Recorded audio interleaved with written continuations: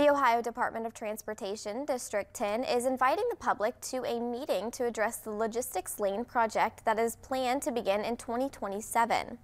According to the information officer for ODOT District 10, Ashley Rittenhouse, between 2018 and 2023, there have been a total of 26 crashes in the area on State Route 7 between Veto Road and the northern end of Blue Knob Road. The meeting, ODOT, at the meeting, ODOT will be showing multiple alternatives to the general public along with them taking questions about the project. Rittenhouse says the meeting will address different types of details that include safety and looking towards development. First, we're looking at addressing safety on the road, but also um, it includes, you know, the installation of infrastructure for use by automated vehicles in the future.